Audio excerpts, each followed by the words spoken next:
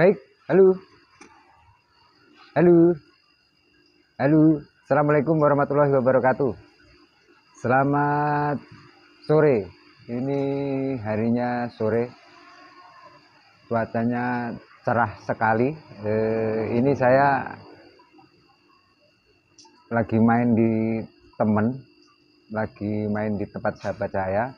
Saya sempatkan live, tapi ya sahabat sudah seperti saudara sendiri, jadi kita enak gitu. Mungkin sahabat saya ini juga pernah saya ajak ngobrol di video saya.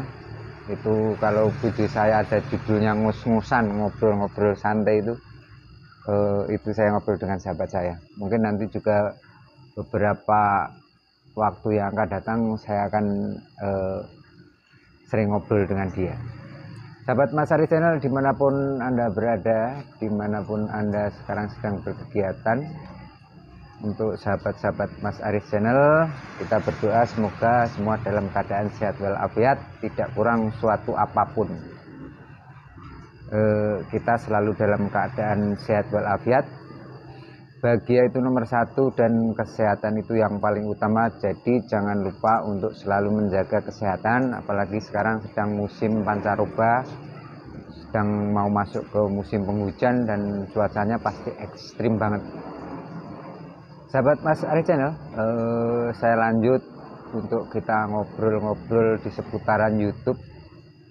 Ada hal yang menarik. Eh, Mas Aris Channel itu kan selalu ngobrol di seputaran YouTube itu ngambil ilmu-ilmunya dari Om Insan Tutor. Dan dari Mas Aris Channel juga sering ditanya, Mas Aris kapan mau net? Gitu.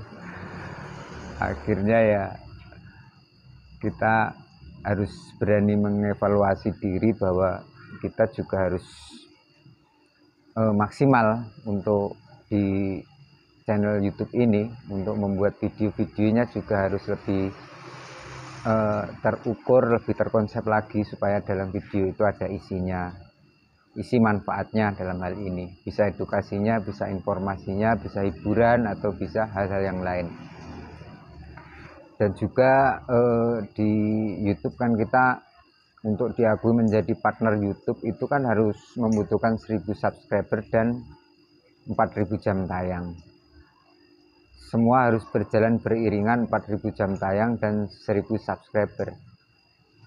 Di video Om Insan Tutor yang baru kayaknya masih baru itu kan ada tentang membahas tentang uh, plus minusnya live streaming. Atau kita kan agak di kesempatan-kesempatan ini kan kita agak senang ya live streaming karena bisa berinteraksi dengan teman-teman untuk live streaming tersebut itu fungsi live streaming kan di samping kita e, berinteraksi dekat dengan subscriber kita berinteraksi dekat dengan teman-teman kita dengan sahabat-sahabat kita itu kan bisa juga menambah jam tayang. Bisa juga menambah jam tayang itu secara uh, signifikan. Dan terus juga perlu dipikirkan juga ada nilai minusnya mungkin dari interaksi kita di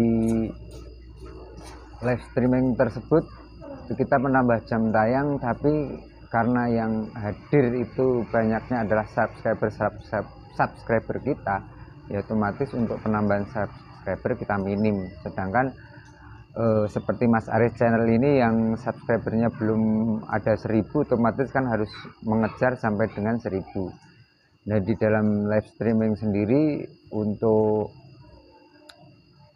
eh, menambah subscriber itu ya kecil kemungkinan karena yang hadir itu adalah teman-teman kita sendiri. Tapi bukan tidak mungkin bertambah juga karena dari live streaming itu teman-teman kita juga menyebarluaskan seperti itu. Kadang-kadang di share di media yang lain atau di tab-tab komunitasnya teman-teman yang sudah mengaktifkan tab komunitasnya tapi di sini pelajaran yang kita ambil eh, bahwasanya live streaming tersebut juga punya plus minus punya kelebihan tapi juga ada kekurangannya. Jadi kita harus bisa mengevaluasi supaya apa yang kita lakukan itu selalu berdampak positif di channel-channel kita. Interaksinya harus kita bangun terus betul sekali dan kita juga harus menambah subscriber terus. Itu juga sangat kita butuhkan karena kita untuk menjadi partner YouTube itu syaratnya adalah 1000 jam tayang. Terus sahabat Mas Aris channel dan pemirsa YouTube semuanya yang sudah nonton video ini atau yang sedang nonton video ini kalau belum uh, subscribe channel ini silahkan bisa di subscribe supaya channel ini terus berkembang dan terus berkembang dan jika dalam video-video Mas Aris channel ada manfaatnya ya mudah-mudahan bisa kita terapkan dan ilmu-ilmu yang ada dan bermanfaat itu mempengaruhi perkembangan channel-channel kita seperti itu. Jadi eh, mari kita terus saling support juga.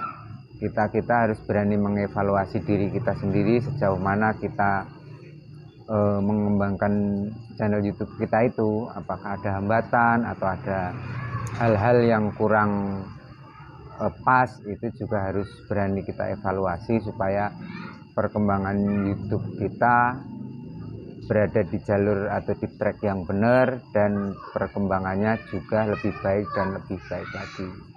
Ayo silahkan teman-teman yang mungkin ada masukan-masukan atau ada saran-saran, kritik dan saran dari channelnya Mas Aris channel ini silahkan disampaikan di kolom komentar. Kita bisa diskusi di kolom komentar. Mungkin itu uh, video dari Mas Aris channel. Jika ada salah-salah kata ataupun ada hal-hal yang kurang berkenan, Mas Aris channel selalu minta maaf kepada sahabat-sahabatku dan pemirsa YouTube semuanya. Mungkin cukup ini dari Mas Aris channel. Ini Mas Aris channel ada di tempat teman saya, sahabat saya. Nanti suatu saat saya akan ngobrol dengan sahabat saya itu. Mungkin cukup dari Mas Aris channel.